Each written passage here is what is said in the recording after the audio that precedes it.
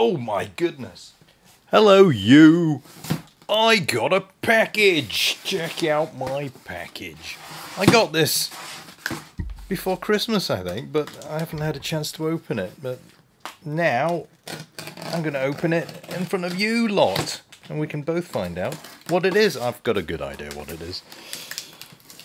And yes, I should have done this much earlier if I wanted to get all the clicks. But I've been busy with work and what have you.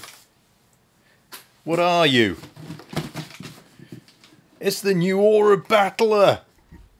He's not very new. He's very old. I think it's, I think it's like the 40 year anniversary, and it's a high grade Bandai. It's got to be 2020, 2023, made in Japan. So this is the retooling, is it? Packaging and a, an invoice. Premium Bandai. Yes, I've already got the high grade of this. When it was first released, many, many moons ago. This must have been something like 20 years ago, or even more. But they've um, redone the articulation on it, so there'll be some new parts on this to allow for added updated articulation and what have you. So yeah, you can pick up the original one very cheaply if they've uh, if you your old hobby store has them. What's this?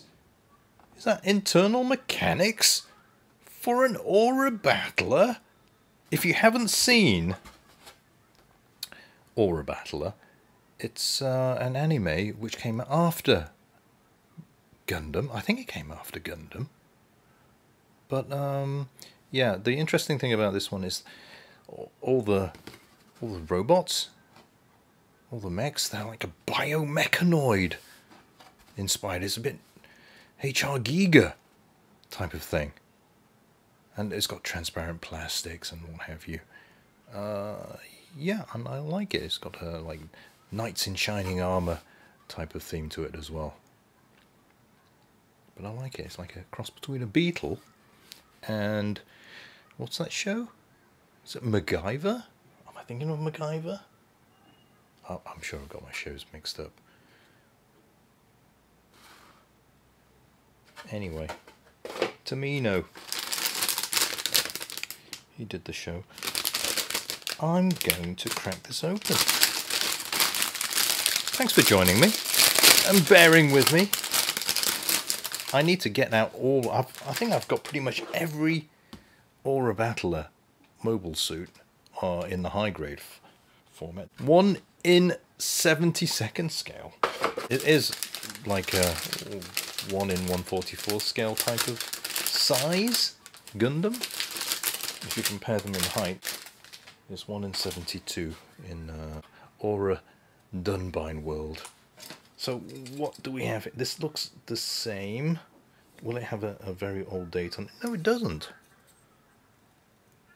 Made in Japan, 2023. So that's his backpack. And the sheath for his sword. And that will be like the, the arm cannon that he has. Okay. There must be some old sprues in here somewhere. Sorry for the camera wobble. 2023. Are they all going to be 2023? No, this one looks new. Something funny going on with the shoulders here. So, is it a completely new kit? Uh, sorry for the crinkly sounds.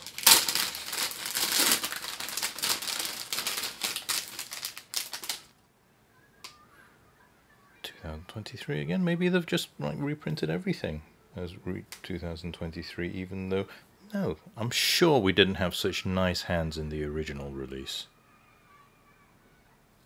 So, this could be a surprising number of new parts here.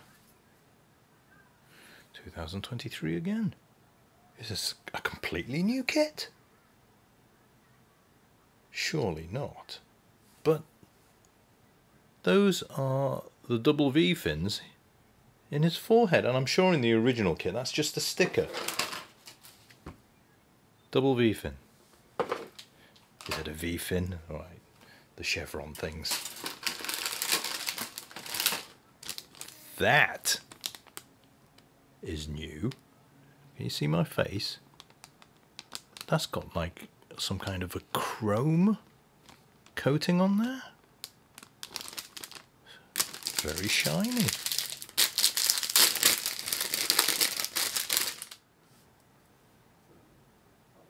Ah, it's just coated on one side. So this is like, is this translucent? Because this cockpit's meant to be a, translucent green piece. And this is, if you look here, look at it, I think it is green, but on one side it has an additional like chrome plating on it.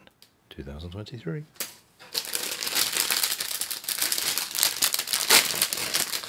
It's a good show. Please go and watch it. It used to be on YouTube. I think I watched it all on YouTube when it was available. So, the Flappy Wings, 2023 again. They look... They're on ball joints here. I'm not sure the original one was on ball joints. This is very surprising to me. It looks like everything is new. Now I have got to go into storage now and find my original high grade to do a comparison. These are, is this the claws? And I'm sure we didn't have different coloured claws on his feet on the original one either. How curious! Oh, what? 2000. This looks like an entirely new kit. For our hero, Aura Battle at Dunbine. It's a Dunbine. Dunbine. It's a Dunbine. I see the half of his backpack, wing thing, cape. 2023. And that's the other half of his legs, which were and arms that we've already had. I think this is an entirely new kit. How awesome is that? But why is it a Bandai Premium? Is it really that obscure that nobody wants it? I wanted it. Wanted it enough to pre-order it.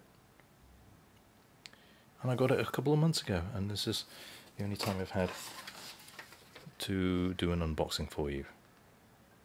Colour on the one side, and black and white on the other.